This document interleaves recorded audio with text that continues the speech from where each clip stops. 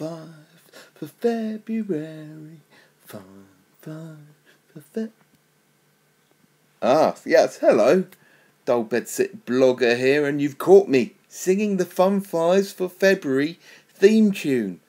Well, I know you're probably all loving it. There's several people who've mentioned how they they whistle it, hum it, and and stuff like that. Well, I'm afraid that tomorrow's Fun Five for February might not have the earworm that is the Fun Five for February theme tune.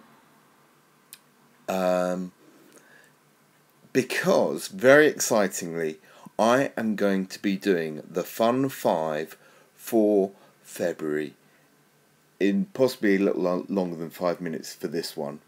Uh, live ish at Horseplay, which is um, an open ish mic night featuring all sorts of shenanigans going on at the Black Dove in St James Street in Brighton. So I'm going to try and keep it to five minutes. The reason it's live ish is I can't work out how to do a, a, a direct upload with my iPad like you would with a webcam or something from a, static computer. Um, it doesn't seem to want to do, but I will record it live, and I think what I'm going to be doing is um, picking a suggestion for a fun five out of a hat.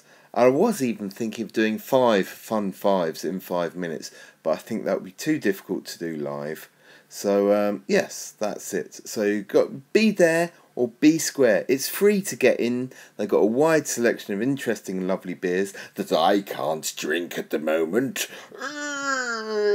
So uh, yeah, be there or B Square at Horseplay on February the 27th at the Black Dove, St James Street, with free entry and um, doors are 7.15ish or something like that.